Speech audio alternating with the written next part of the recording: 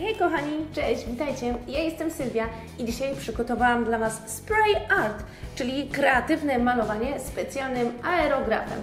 Znacie już y, te zestawy, wiecie jak należy obsługiwać się tym oto tutaj sprzętem, bo jeśli nie, to oczywiście zapraszam Was do oglądania. Zostawcie kciuki do góry i koniecznie zasubskrybujcie mój kanał. Spray art jest to, słuchajcie, fantastyczna zabawa dla starszych i dla młodszych. Dzięki temu zestawowi możemy poczuć się jak mali artyści. W każdym zestawie mamy specjalny aerograf Spray Art, wzory do odrysowywania oraz w tym większym zestawie Deluxe 5 flamastrów do aerografu.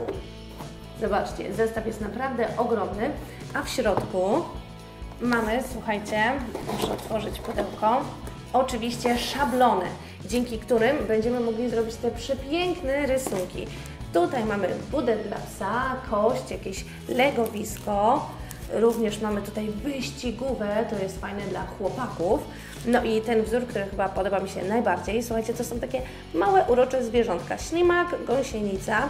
Widzę tutaj również motylka, chyba dzisiaj zajmiemy się właśnie tym wzorem i postaram się stworzyć taką przepiękną, zieloną, wiosenną łąkę. No ale żeby to stworzyć, no to słuchajcie, musimy wyciągnąć nasz sprzęt. To jest Spray Art Aerograf, nasz sprzęt, a wychodź, który pozwoli nam pryskać naszymi pisakami, a pisaki w tym zestawie to kolor żółty, niebieski, różowy, czerwony oraz brązowy. Ja mam troszeczkę jeszcze więcej tych pisaków z innych zestawów, więc będę je sobie tutaj mieszać. Gotowałam już swoje stanowisko pracy. To jest zwykła biała kartka papieru, ale słuchajcie, tymi flamastrami Spray Art możemy również y, robić wzory na tkaninach. Możemy zrobić własną koszulkę, zaprojektować ją, wymyśleć wzory albo skorzystać z tych szablonów. Możemy zrobić własną poduszkę oraz możemy zrobić jakąś fajną torbę na zakupy. Ja jednak skupię się na kartce. Zobaczcie, tutaj jest biała kartka papieru. Podłożyłam sobie troszeczkę więcej, aby nigdzie niczego nie zabrudzić. No i mam mój flamaster. I słuchajcie, baterie włożone, niebieski pisak wkładam tutaj. Chwytam to jak zwykły pisak i słuchajcie, nie wiem czy Wy to będziecie dobrze widzieć, ale ja sobie zacznę od zrobienia niebieskiego nieba. O, zobaczcie, gdy mam dalej mój pisak, mój spray art, wówczas ten wzorek jest taki delikatny. Dobra, jest niebo, to teraz czas zrobić chyba jakąś ziemię albo trawę, więc wyciągam niebieski pisak i chyba fajny będzie, wiecie co? Może żółty? To będzie taki piasek. Na piasku będą chodzić na przykład gąsienice. I zrobię tutaj na dole żółty kolor. Te kolory oczywiście możemy ze sobą mieszać. Nie ma na co czekać, jak już kartka jest przygotowana, bo oczywiście nie musicie robić tego tła tak jak ja, to przykładam mój szablon. Na początek chyba zrobię motylka i mój motylek będzie w kolorze, słuchajcie, czerwonym biorę flamaster, wkładam ją, go do mojej maszyny.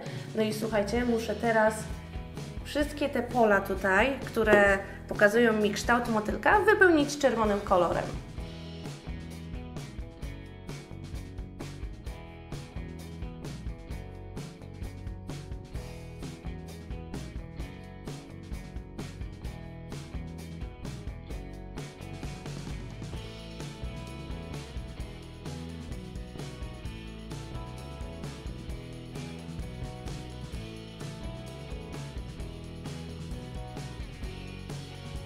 Słuchajcie, teraz najważniejszy moment. Muszę ostrożnie ściągnąć mój szablon. Udało się! Zobaczcie, jaki piękny motylek. Widzicie? Ma śliczny kolor.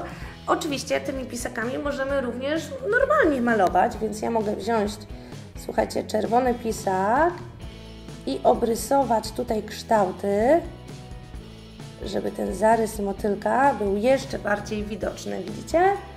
Możecie zrobić jego czułki, o, w ten sposób.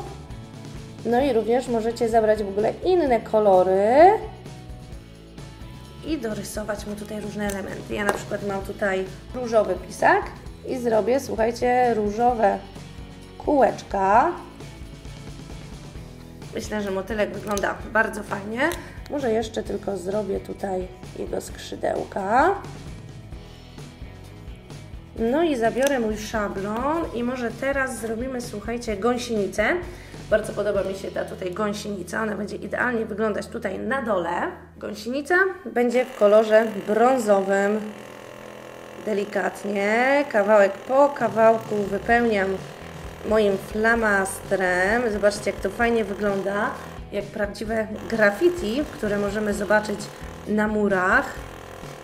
O, jeszcze łapki. Chcecie, aby był mocniejszy kolor? No to dołóżcie kolejną warstwę Waszego sprayu. Jeszcze trochę. I chyba jest skończone. Teraz uwaga, ściągamy ostrożnie. A, zobaczcie, jaka super gąsienica. Oczywiście gąsienica musi mieć szeroki uśmiech. To jest gąsienica, czy też może nawet stonoga. Szeroki, czerwony uśmiech. No i oczy. Oczy może zrobimy w kolorze, słuchajcie, niebieskim. O, tak. I kolejny zwierzaczek jest już zrobiony. Razu wybrałam już kolejny szablon. Tym razem będzie to biedronka. Skoro biedronka, to oczywiście czerwony kolor. Był mały wzór, więc szybko mi poszło. O, zobaczcie, taka delikatna, jaśniutka biedronka. Ja ją sobie jeszcze obrysuję. Bardzo mi się podoba ten pomysł z obrysowywaniem tych wzorów. O, łapki. Teraz głowa. Dzięki temu, słuchajcie, możemy się nauczyć rysować, na przykład właśnie biedronkę. Ostatnim zwierzakiem, bo nie chcę tutaj przesadzać, wiecie, będzie ta sowa. Sowę zrobimy w kolorze brązowym, jak to zazwyczaj bywa, chociaż są też sowy na przykład białe. To jest sowa śnieżna. Jeszcze tutaj łapki, pazury. I jeszcze troszeczkę, żeby ten kolor był nieco ciemniejszy. Ostrożnie ściągam szablon. Tadam! Ale słuchajcie, śmieszna jest ta sowa, bo jest taka naprawdę malutka. A ja dorysuję jeszcze gałązkę, na której siedzi sowa. I takie wielkie drzewo. O, zobaczcie, tutaj z boku. W ten sposób.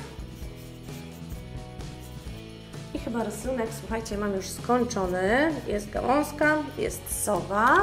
Pisze się.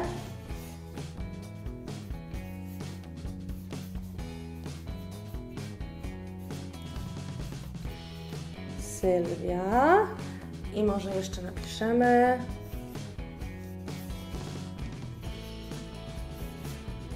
Bajkowo.